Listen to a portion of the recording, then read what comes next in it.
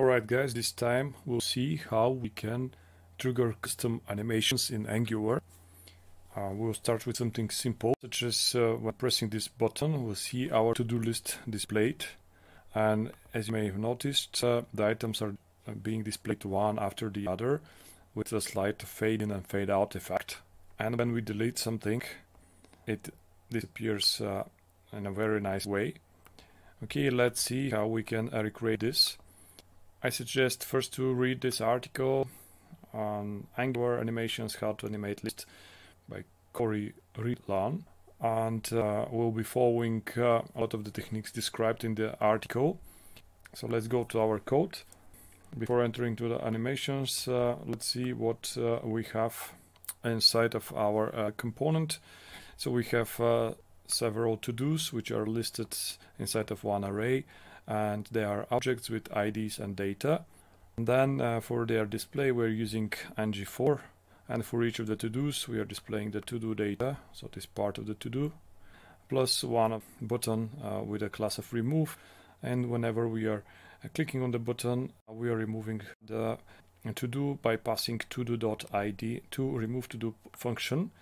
Uh, here is the remove to-do uh, function. Actually, we're using the filter on the to-dos uh, array. We're just uh, excluding the uh, past to-do ID from the array and returning another array to create animation and to trigger it. We're using this binding here, list animation, and we're binding it to the to-dos.length. So the moment we see certain changes in the length of our to-dos, this uh, list animation will be triggered. And let's take a look at uh, the animation how it's created. Animations can seem a little bit confusing, but actually we are just importing uh, several um, functions uh, from Angular animations.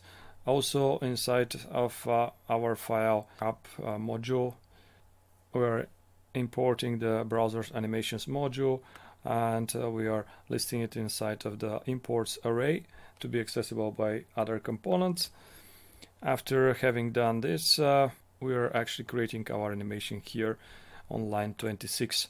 Basically, we are looking for changes or for triggering of the list animation, uh, which we have provided here as a binding in the UL element.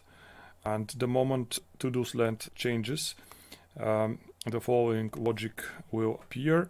Uh, so we are starting a transition.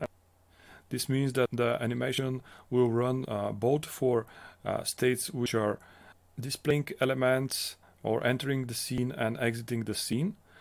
Whenever such a thing happens, such as deleting or showing a to-do, we need to uh, query the sub-elements uh, of the lists. So we have UL lists and all the LI items are actually our to-dos.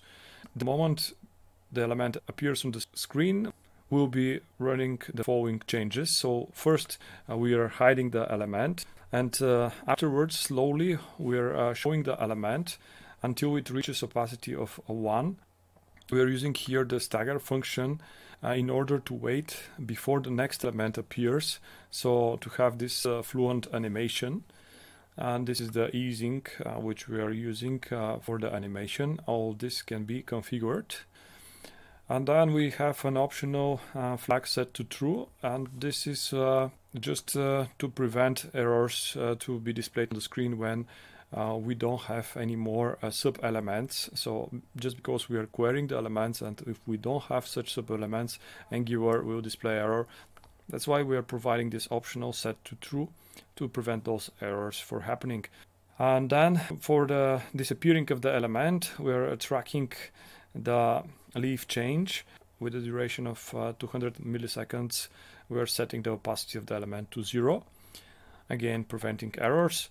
And uh, basically that's the logic of the function and uh, you can see how many customizations you can have by using such states as enter or leave yeah from now on you can uh, just explore more functionalities by the way they are listed in the angular uh, documentation so here in the angular io you have introduction to angular animations basically you can read more about the states and the styles how they can be applied um, for different states to achieve uh, simple animations So that's it guys. If you like the information in the tutorial, you can subscribe to the channel.